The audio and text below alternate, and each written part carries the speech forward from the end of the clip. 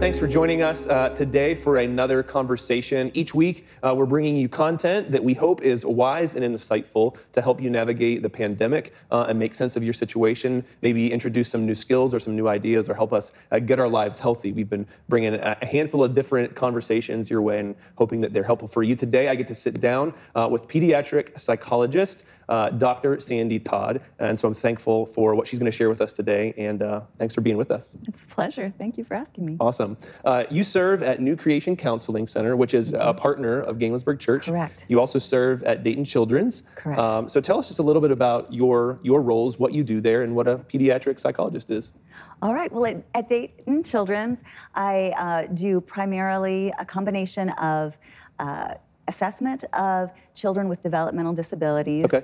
uh, including autism, primarily autism, but um, a range of other disabilities. And sure. then I also do psychotherapy and counseling to the children and their families um, about how to deal with those issues. Okay. Uh, at New Creation, I do um, a range of um, I have a range of populations with whom I work, from kind of birth to death. Yeah, uh, yeah. You're not only a, a child psychologist; correct. you work with uh, with adults as well. But, yeah. Correct correct. And so, um, and we work with a range of um, presenting concerns that, um, that families bring with us. And so a pediatric psychologist is um, one that um, has additional training beyond the doctorate in working with uh, children, and specifically pediatric psychologists tend to have specialties in, in children with medically or biologically based problems. Okay. Uh, and uh, and so for me, the training that I did was at Boston Children's Hospital in 2002, and that was working mostly with kids with autism spectrum disorders. Okay. Um, prior to that, I worked mostly with adults, and since then, I've worked with both. Okay, great. Well, thanks for that little intro. Yeah. Something else, as we were kind of chatting,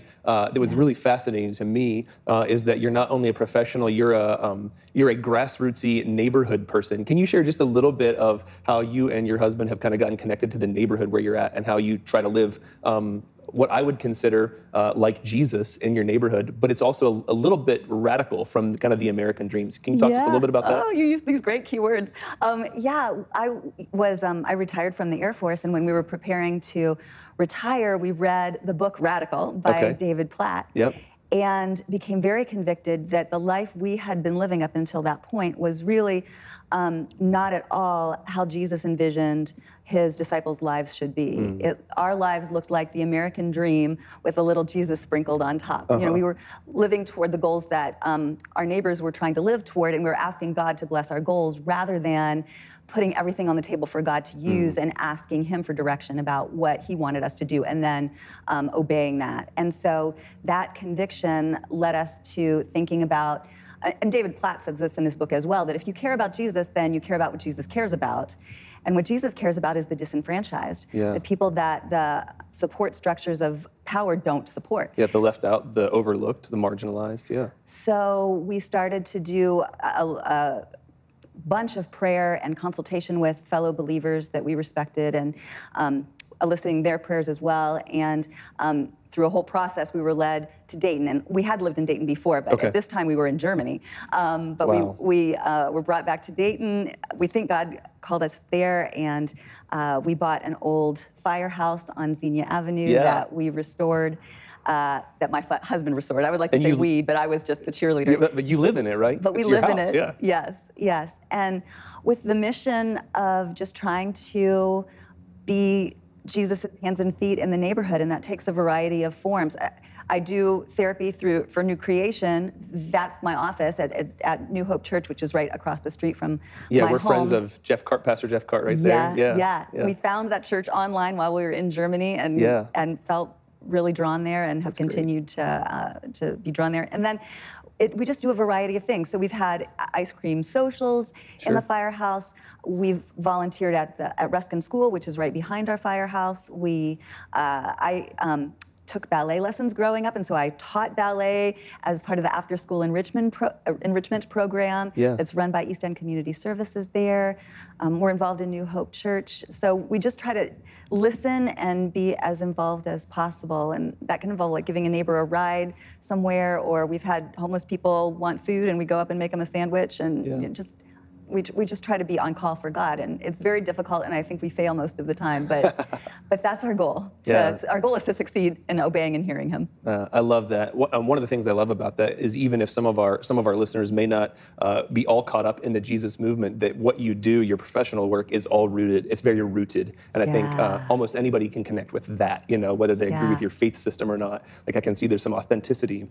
Uh, in what you do, and so that's that's powerful. I'm guessing that your uh, your professional work uh, also flows from that same well, uh, which is I think is very fascinating. So I thanks for so. sharing. Yeah, Thank thanks for sharing some of that with us. Um, one of the reasons I wanted to talk with you was because actually a friend and colleague reached out and said, "Hey, Rusty, you're hosting these conversations. Could you speak?" I've spoken with. Um, Another counselor, actually the director, uh, soon to be retired director uh, from New Creation Counseling. Yes. We talked a little bit about anxiety and stress um, and how we navigate that. I talked with a marriage counselor from New Creation, but they Mm-hmm. wanted to hear from someone who specializes in working uh, with kids and thought it might be important for parents. Uh, that's probably our audience and grandparents to Yeah. understand hey, how can how are our kids processing um, this this this pandemic, something that's certainly um, unprecedented for us, but also uh, for them. And we might have some of the language to express what we're feeling. Maybe our kids have a little harder time doing that. So uh, I wanted to ask you, in your uh, in your practicing right now, what are you seeing? Uh, new themes or different things, different signs, things that we can be aware of um, as you're working with families and clients and, and kids during the pandemic. What are you seeing? Uh, I'm seeing um, nothing new, but Okay. sort of uh, many things intensified. So a lot of parents and families are describing that um, since the stay-at-home order, kids have been more irritable. Kids have been less compliant. Mm-hmm. Um, I've seen, I've heard um, families, and I've seen patients um, with increased anxiety. The kids that are predisposed to anxiety have sometimes noticed an increase in Okay. anxiety. Uh, I've noticed just some general, like people who live in a household are sick of one another. Yeah, yeah. are on one another's nerves. Um, and, um, and then I see that um, the computer-based learning as it stands right now um, through most of the schools, which have done, I think, the best that they could, on short notice, most of our educators aren't trained to teach this way. They've been doing the best they can. But for my patients, all of whom have special needs, Yeah. uh, that's not been the best modality of learning for those kids. And so they've been extremely frustrated, and their parents have been extremely frustrated trying to help them through this time. Yeah, something that um, that I've heard through from some from several mental health experts is this kind of increase in anxiety, um, or at least expressed. You know, it's being expressed. Um, before we dive any deeper into some of the other things, what can parents be on the lookout for to know if their child is you know, dealing with something? Um, more, maybe more than usual, if, if they're experiencing some anxiety where maybe they need to talk to someone or could use some help. Can you talk about that just a little bit? Yeah, so anxiety in kids um, sometimes doesn't look exactly the way it does in adults. Mm-hmm. In adults, um, like you had said earlier, we can sometimes verbalize what it is that we're worried about. Sometimes. yeah. um, and kids oftentimes don't have the words for that. So many times they'll show you, or th- through their behavior, it-. Okay. they'll express it. So things like uh, difficulties sleeping, um, difficulties with their appetite, more clinging, clinginess Mm-hmm. to um, caregivers, more distress when the caregiver leaves. Mm-hmm. Excess, excessive reassurance seeking, like asking the same thing over and over again for reassurance, even though they know the answer, even though you've told them. Um, those things, difficulty concentrating on their schoolwork. Okay. Those are some of the things that um, you would, your child would kind of show you that there's something different Yeah. um, going on with them. And so um, I'm guessing there are maybe um, a series of steps that a parent might take. You know, uh, the first step might not to be to, to call a therapist, but at some point it might be as well. Um, so let's say a parent is seeing some of the signs that you just that you just talked about.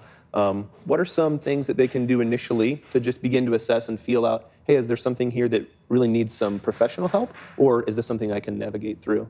Yeah, I think the first question is to, or the first thing to do is to ask um, them if they are able, if they're verbal, um, Mm-hmm. If they're old Yeah. enough to talk, and uh, to say, hey, I wonder if you're worried about anything. We're doing new things here around the house. Things have changed around here. Do you have any questions about those? Yeah. Are you worried about that? Or I noticed that you are staying near me m- more. Yeah. Tell me about that. Just to kind of open up some conversation for them. I think that as parents, we oftentimes are used to um, telling our children things Mm-hmm. and teaching our children things. We're not so accustomed to listening. And so just opening up that listening, I think, is a really good idea. Um, and then even if the children don't ask or aren't able to verbalize what they're, uh, what they're concerned about, to explain what's going on to them at a level that they can understand. I think that that would be another step. Yeah. Reassure them that things are okay. The way you can do that also is more than just words, but through behaviors as well, because children aren't just like they can't speak as well, they can't understand verbally as well either, depending on their eh, developmental level. So, doing things like setting a routine and having a very expected, predictable routine. Um, as, a, as much as you can, you know, Yeah. not to be too rigid about it, but to have so that the child knows what to expect, so that they can settle into this new life that we've got for the time being. Um, for the adults in the home to really be aware of modulating their own emotions, Okay. regulating their own emotions, even though they might be anxious, even though someone might have lost a job, or there might be someone ill, or there might be uh, problems that are related to COVID 19, but not directly COVID 19. Um, if a, the parent can model for the child that they're calm, that they're um, in control of what they can be in control of, that they're not overwhelmed, then the child is looking at their parent as the barometer for how they should feel. Yeah. Um, and so I think those would be steps. And then if they notice that over time, I would say, a month af- after they've noticed a symptom, if, if nothing has improved after they've made some of these steps, then they could consider starting to, to um, ask for professional help, explore professional help. And that doesn't mean that it would be, the child would be in therapy until they graduate from high school. Right. It might be just a couple consultation sessions Right. um, with a therapist to just get some more ideas. Yeah, I think in one of my other conversations, uh, we talked a little bit about this is in the marriage counseling or marriage conversation that there can be a bit of a stigma where we can feel like, oh, if I if I need help, what does that mean about me? Or yeah, or like, oh, I'm in this forever. Like, I you know, um, so it's good, I think, to alleviate kind of the concerns. Hey, this might be a conversation or two uh, where a therapist and a child and a parent learn a little bit, learn some skills um, uh, that can help free us all up to to move forward in health. Yeah, I like to think That's of it good. Mm-hmm. as the way you would go to see your pediatrician. That you, you, when you go to see your pediatrician, you don't, you aren't sick for life, Right. Or you don't have an injury for life. Um, they just use their expertise to give you some ideas about how to get well from this particular um, challenge that your body has faced, and and therapists do the same thing. Yeah. that's the goal. No, that's really, really good. I appreciate you sharing that. Um, you mentioned parents modulating their own emotions. That requires a certain level of emotional well-being on parents' part as well. And obviously, where many parents are under a like you like you named, they're either they're working working and caring for kids at home, or they've lost their job or whatever. Yeah. Um, what are some tools for parents to be to be well? You know, t- so, so that I can um, so that I don't dump my anger or my frustration Yeah. or my ruminating right onto my kids or when my kids are around what are some tools that we can use as parents Yeah. to, to be healthy too Great idea. I, I have um, four things that I can think of. Hopefully, I'll remember them all as I Yeah. talk. Um, the the first is make sure that you give yourself a break if you're a parent. Okay. Uh, that uh, now everybody's at home 24/7, and so it's not like you have a rest period from work. You're, you know, coming home is your rest period usually, Right. but now coming home is your workplace. you're on, yeah. Yeah, so to find ways to give yourself a break, um, taking a bubble bath, put on your headphones and listen to music, Yeah. um, pass the baton to another adult in your home and take a walk if, if there is another adult in your home. Right. Uh, I think those just giving yourself permission to do that because I don't think we necessarily give parents permission to have a break. We kind of guilt them into thinking they have to be on the clock 24/7, but they need a break. Um, second is to have somebody that they can talk to Okay. uh, another adult that they can talk to, especially if they're the only adult in the home. Sometimes we have to talk, and we end up wanting to talk to, our, to somebody, and so that ends up being the, chi- the children in the home, and the children just maybe don't have the emotional capacity or the intellectual capacity to deal with the nuances that we adults are dealing with during this time. So Yeah. have a friend to call, and if if you don't have somebody in your social support network, then um, a clergy person or um, or uh, a counselor for yourself Yeah. is also an idea.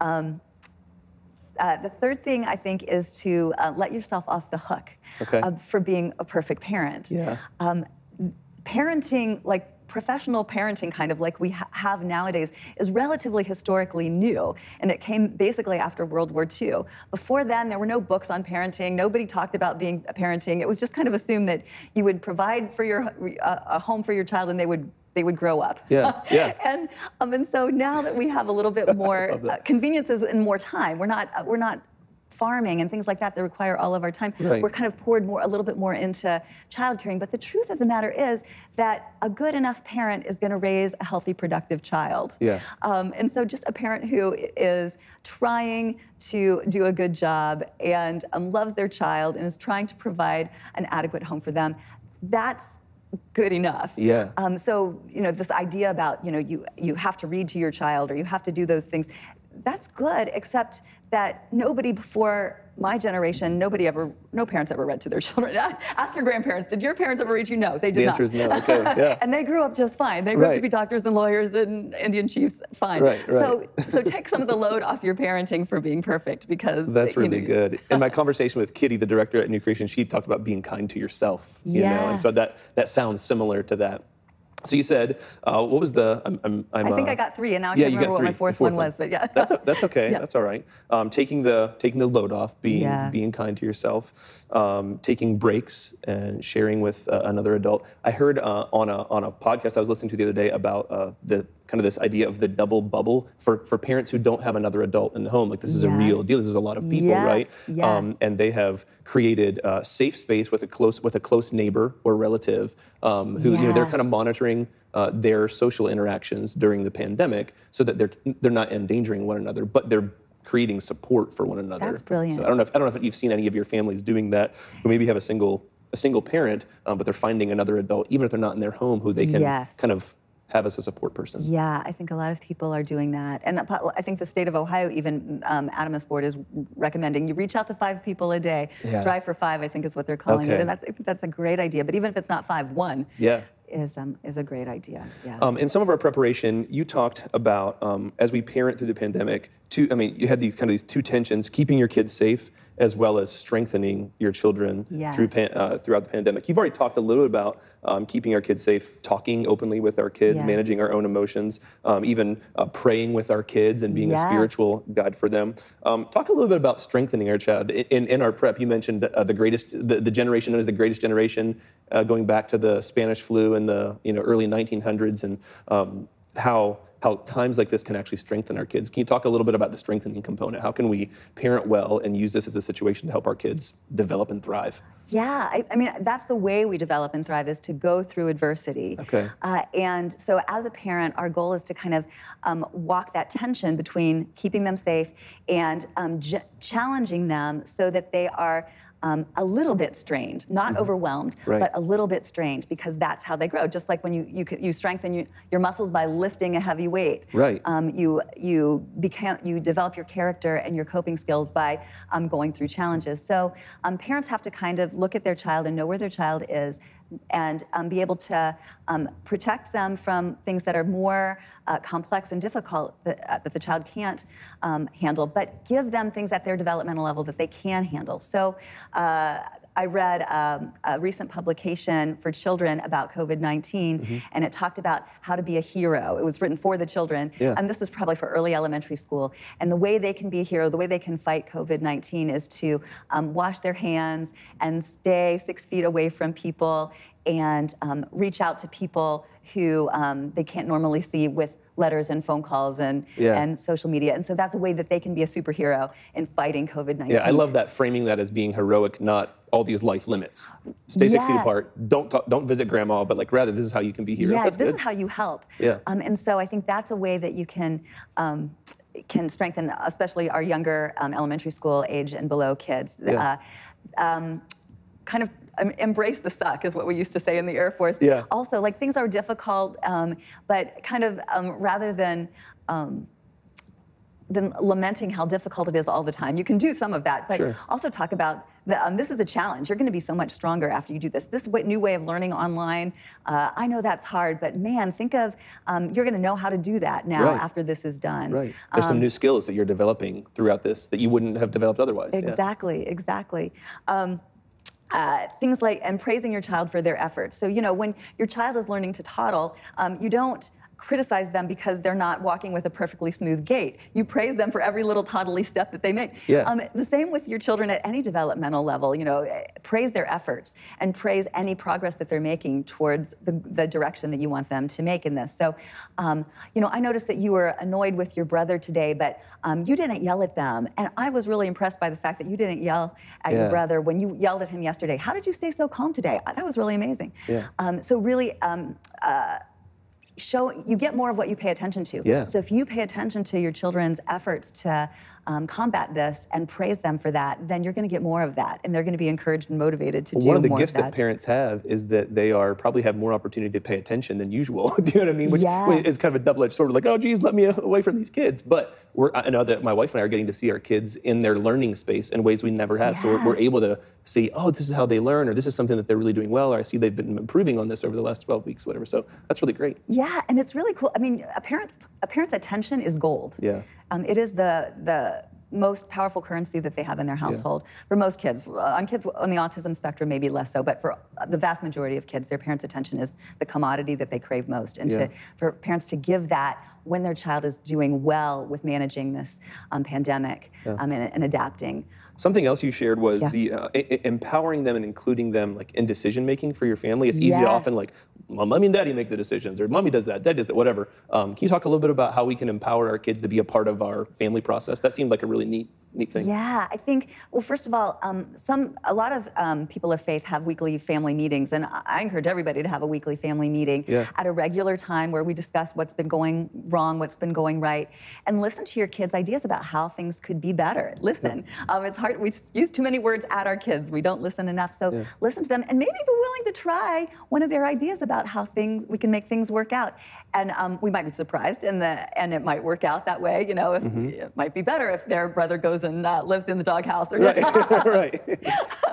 um, but even if the idea fails, Right. that um, that's data, and and uh, that you can use that with, with the child for, Yeah. for problem solving. So I think um, letting them have an idea and a, a, a um, possible solution Yeah. for things that are going wrong or that could be better.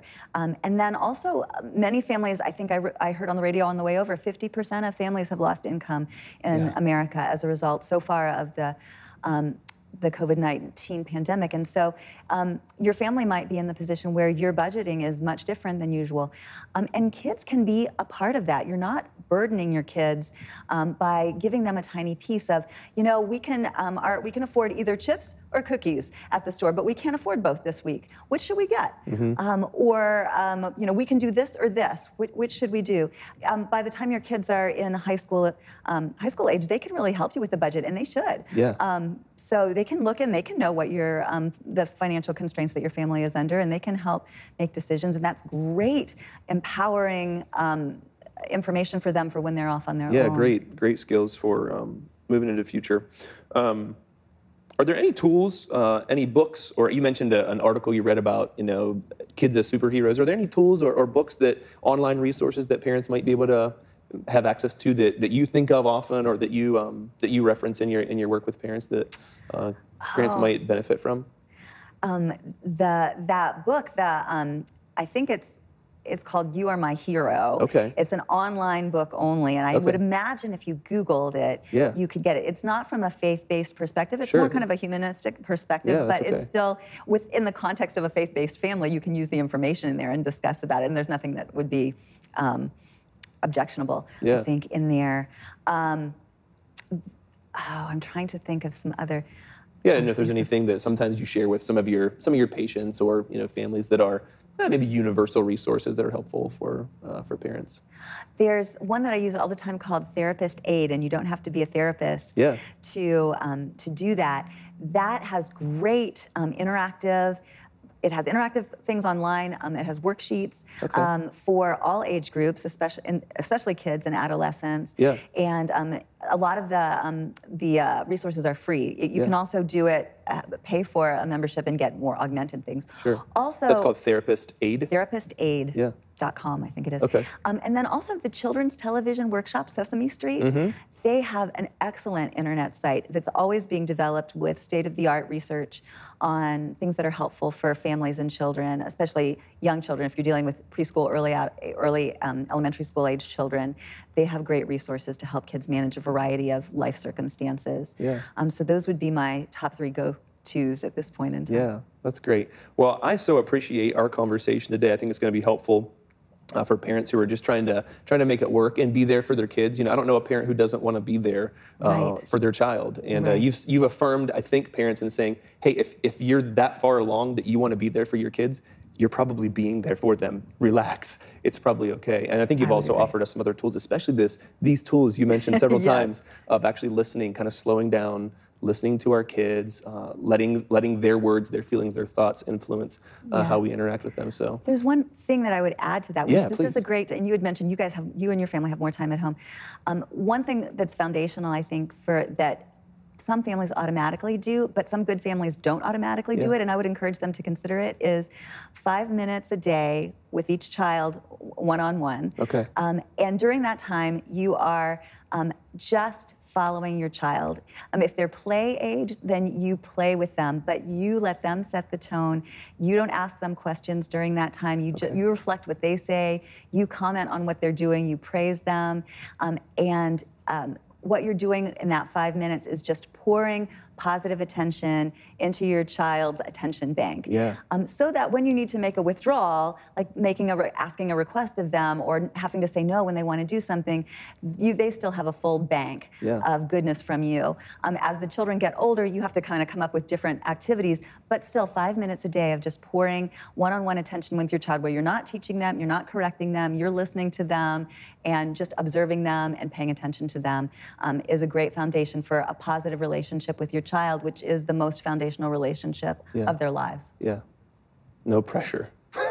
the most foundational. No, but I love it, and that's something that we can all do, right? Five minutes a day is Yeah. nothing. Is there anything else you would want to share with our with our viewers or listeners today?